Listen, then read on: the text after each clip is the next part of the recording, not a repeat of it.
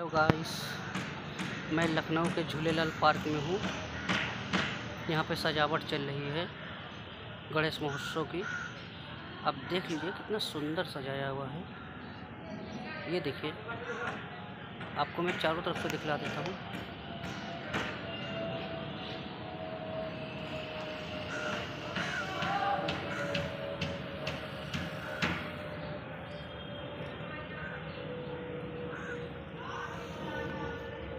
और यहाँ पे गणेश भगवान की मूर्ति रखी जाएगी। अभी द्वार बना नहीं है। द्वार बना के ये गणेश भगवान की मूर्ति धरेंगे। इकतीस अगस्त को। कितना बढ़िया लगता है। बहुत ही सुंदर। Very good